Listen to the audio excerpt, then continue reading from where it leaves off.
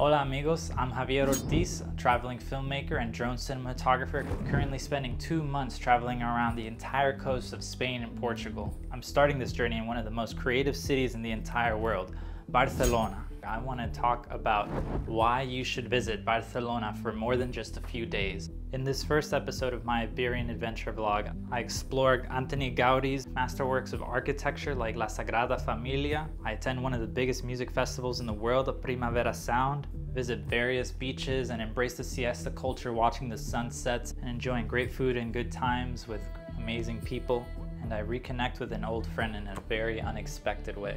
Let's get to exploring Barcelona and the amazing aspects that make it one of the most creative cities in the world. But first, make sure to like this video and subscribe to my channel to keep up with these Iberian adventures as I release vlogs from various regions of Spain and Portugal. Vámonos! Hola! I've made it to Barcelona. I've been here for a couple days now, just rolling through some jet lag. It was definitely affecting me. Um, I was like awake. I think the first night I slept kind of like the whole day on and off, like three hour sessions, and then I couldn't sleep from like, or I did sleep from midnight to 3 a.m. and then I couldn't sleep from 3 to 6.30, which was fine because it was kind of overcast and setting the mood, you know, just taking it slow, chill. Now I've kind of acclimated back and ready to hit the day, especially right now that the sun's out. So, ready to hit the town and show you guys what Barcelona is all about. Now, if you're coming from the United States, you definitely want to plan on having some time to acclimate through jet lag. Me coming from Seattle, I traveled through nine time zones and it took me about two to three days to really get through the random surges of energy and depletion of energy and sleeping and waking up at random times. Second day I was here, I went and got a tattoo by my friend Hey Norte, Jenny Norte, check her out. And right now, I'm on my way to La Sagrada Familia with my friend Sealskin.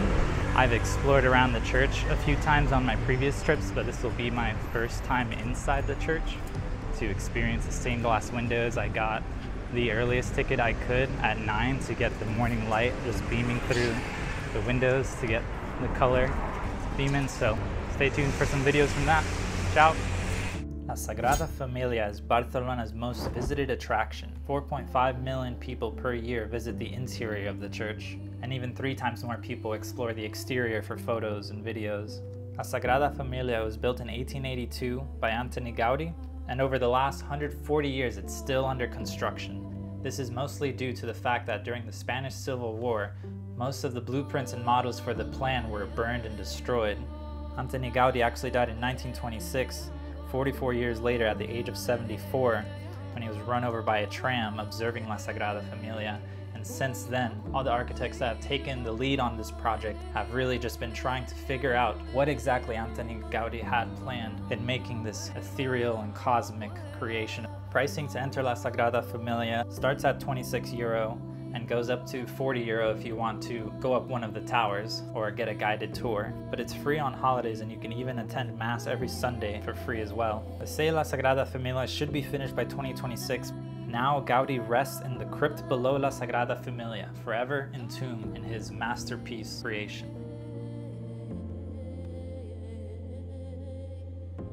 Now I still feel that best time to go in La Sagrada Familia is first thing in the morning at 9 a.m. because of the morning light beaming through the beautiful stained glass windows and pretty much any time after 10 and midday is just immensely full of people. So if you can't make it at 9 a.m., I'd also try to make it closer to the later hours around sunset where the light is also beaming through the other side of the, the church. Margot is here channeling the angelic light and space of the basilica. It's got a cosmic energy that surrounds you and makes you feel like you're on another planet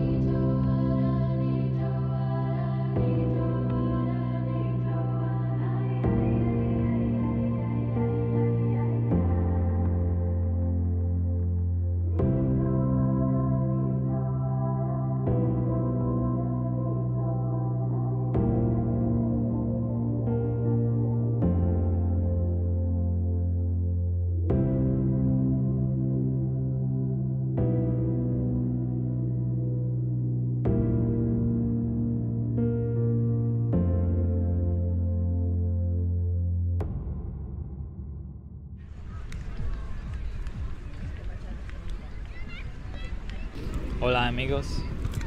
I'm chilling here at Barceloneta Beach with my new bike that I just picked up so I could whip it around town. Oh, I'm flashing off my butterfly by Sam. And yeah, just endless people watching. And next I'm heading into the Gothic Quarter to a bike shop to grab a lock and park up the bike anywhere I want. Hopefully it doesn't get stolen within like a week. There's high thief activity in Barcelona. It's like infamous for that. All you can do is what you can and if your shit gets stolen, it's just a part of life. Kinda sucks. Really sucks. But from my stuff being stolen here back in 2019, pretty much every day after that was really great. Letting go of so much. Hard reminder to be back in the present moment. So, yeah, that's what I'm sharing with you today. Just some people watchings, what I'm up to. Hope you're enjoying the show. I'm enjoying life. And yeah, I'll show you more. Stay tuned. Definitely keep in mind that Barcelona has one of the world's highest amount of pickpocketing and thief activity. So when exploring and visiting Barcelona, keep a fanny pack or like a crossbody bag on you at all times and don't have things kind of loose around. Always keep an eye on your belongings. Don't put it down casually to the side.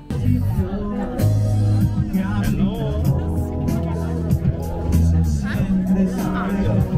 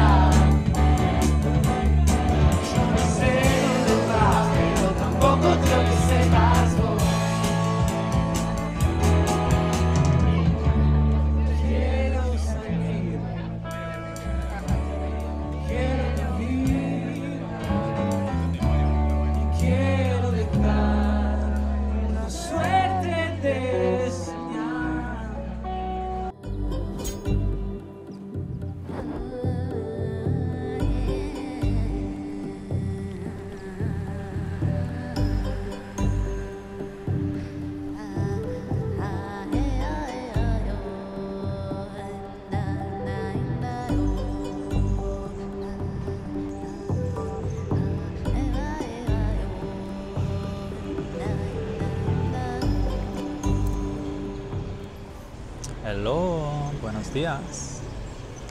Javi here in Barcelona. I just woke up. Where the fuck am I? It's kind of like north of Barcelona. I went out to like a rooftop terrace artist music event last night. Nice and quaint. Sunset, sea breeze, good people, good tunes, good talks. Just checking out the morning light everywhere I go, hitting the buildings, trees, birds waking up. It's just been a good morning, man. Good day, good times. But yeah, I'm gonna get back on my walk. Show you a little walking ambience before I cut it. But ciao, amigos. Now, as much as I love riding my bike through the city, still the best way to get around Barcelona is by foot, one of the best walking cities in the world. With over 100 kilometers of bike lane, Barcelona is one of the best cities to get around by bike. You can rent a bike for as cheap as 10 euro per day, or if you're staying for a bit longer, it's actually cheaper to buy a bike off Facebook Marketplace or somewhere used like that. I bought my bike for 120 euro and was able to whip it around town for a few weeks. This is the Montjuic Castle on top of Montjuic Mountain. It's got some of the best viewpoints in all of the city. Some other of my favorite viewpoints are Parque Guinardo, where you can also find the bunkers, as well as Tibidabo.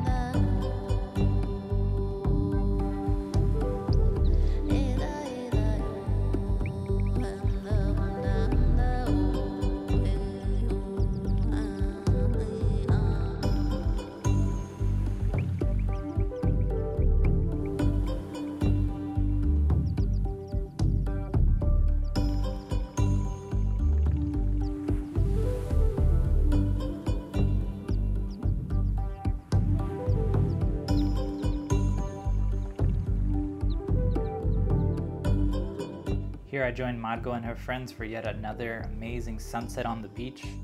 You can't beat the summer sunsets here in Spain.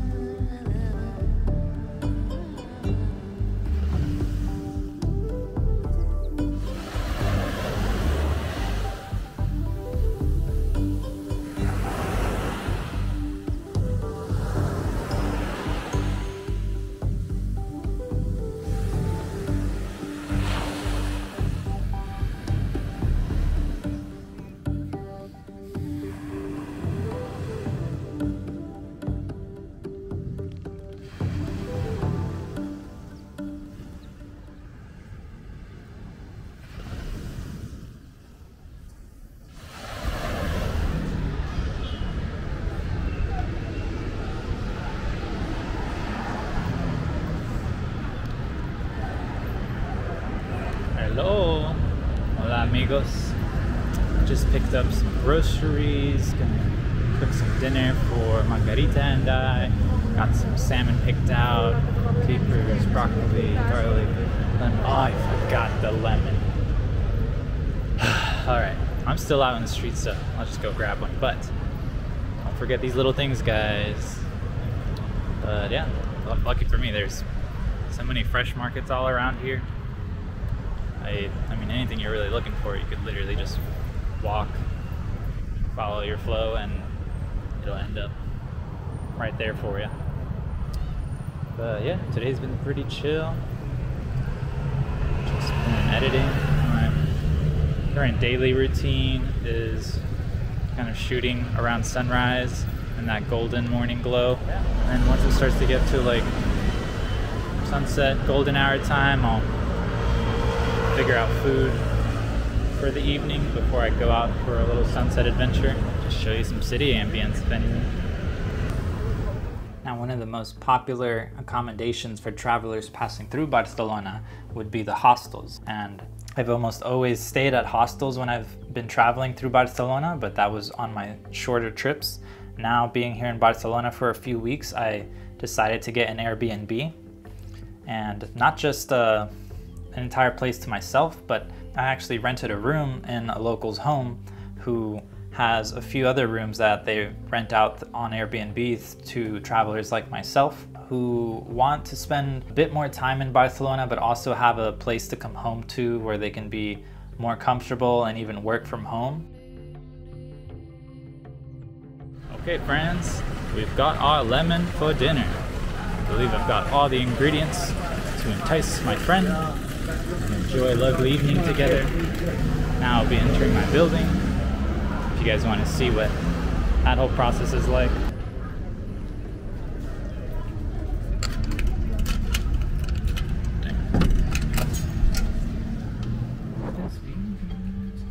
Up the stairs.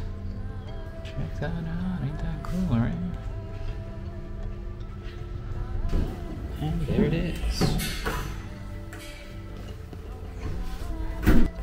Bigger than it actually is, but that's it.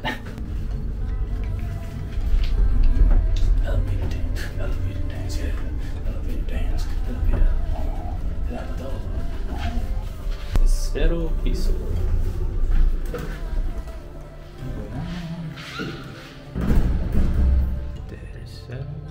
Now we use this clever key.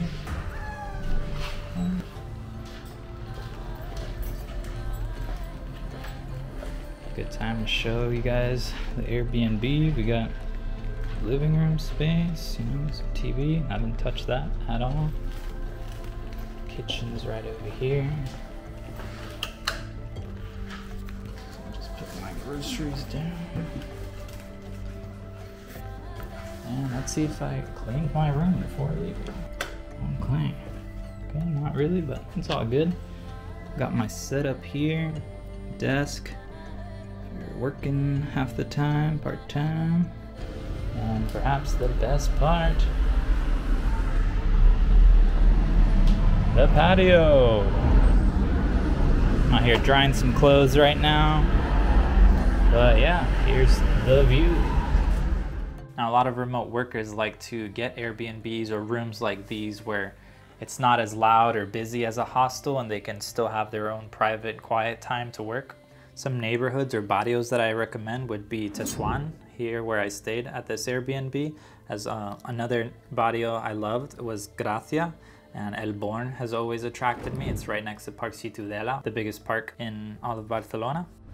That's all for now, my friends. Thanks for joining me so far. I'll catch you tomorrow. Buenas noches. Cuídasen. Ciao.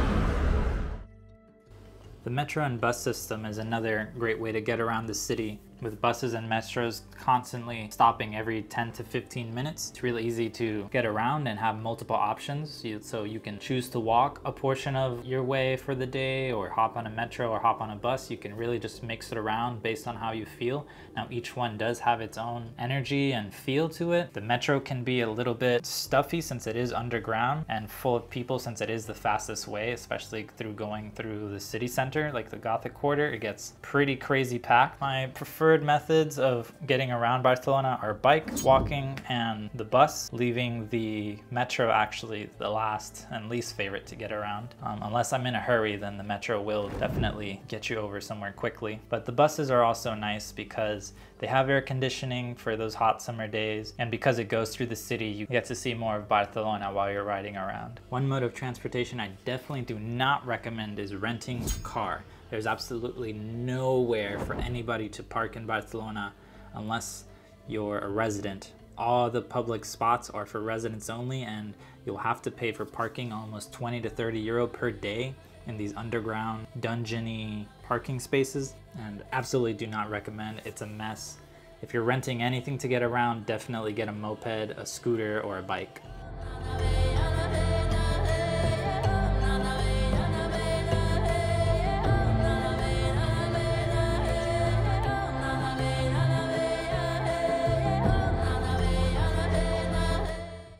original reason I even planned this trip to Barcelona was for Primavera Sound, one of the biggest music festivals in the world, easily comparable to Coachella, where it has 150,000 people capacity. I got this ticket back in 2020 when the festival was announced, and it's been sold out since that very same week. And for, of course, through 2020, it's been on hold and rescheduled for over two years, and I was finally able to come and see these bands that I was so excited to see, like Tame Impala, Beach House, Tyler the Creator, The Gorillaz.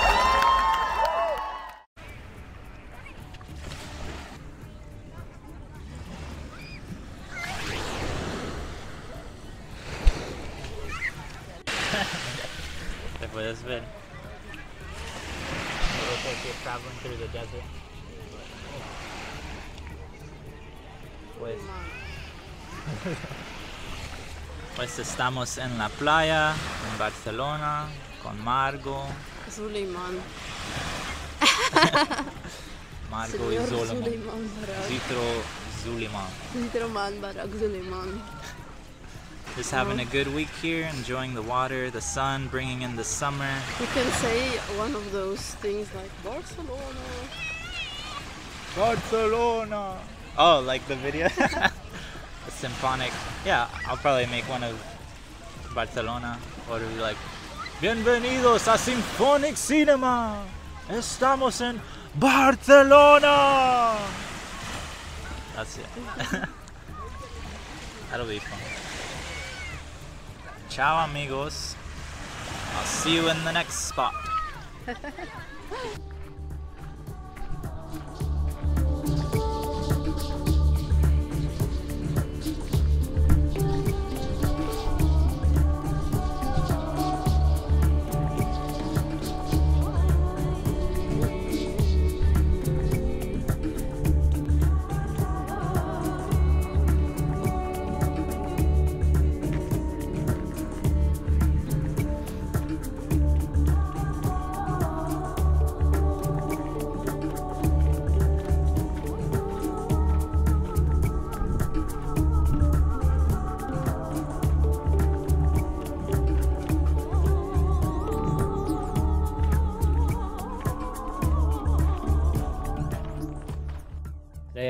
around the city visiting some more of Antoni Gaudi's masterwork around Barcelona. I visited Casa Vicens, Casa Batlló, Casa Milà, Park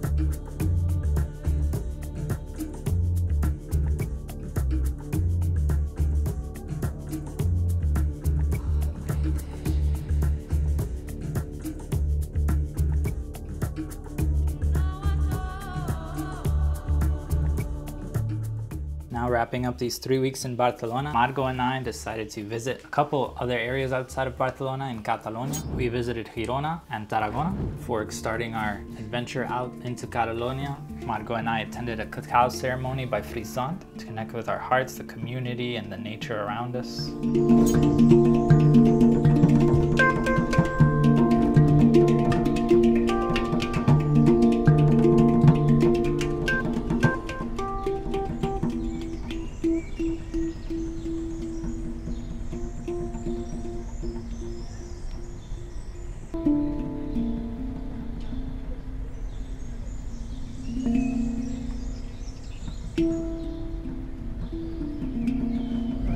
Hola amigos, estamos en Girona, España.